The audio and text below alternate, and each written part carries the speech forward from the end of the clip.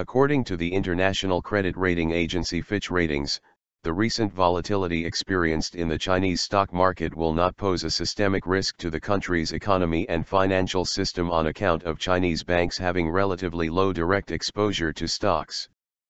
Fitch said equity allocation represents only a small fraction of the bank's investment portfolios, as direct investment in equities consisted of less than 1% of the bank's assets at the end of 2014, and the real economic impact of stock market volatility will be minimal. The United States-based International Credit Rating Agency attributed the sharp decline in the stock prices to the underdeveloped state of the Chinese stock market. The Chinese stock market was one of the world's best performing stock exchanges earlier this year with its benchmark Shanghai Composite Index, SCI, surging more than 150% in 12 months, partly due to margin trading as some investors borrowed money to buy equities. The SCI dropped by more than 30% in less than a month from its peak on June 12, as margin traders began to unwind their positions and some investors cashed out.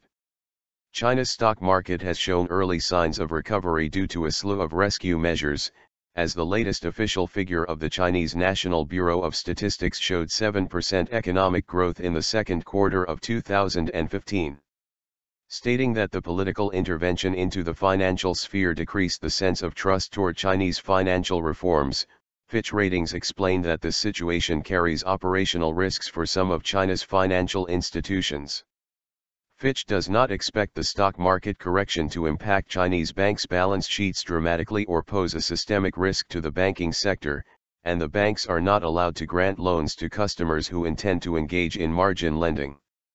However, Fitch cautioned that the rapid evolution of the stock market along with market-related volatility has drawn attention to several challenges for brokers, with risk management and governance issues highlighted by an aggressive increase in margin lending in addition to a rapid rise in stock valuations earlier this year.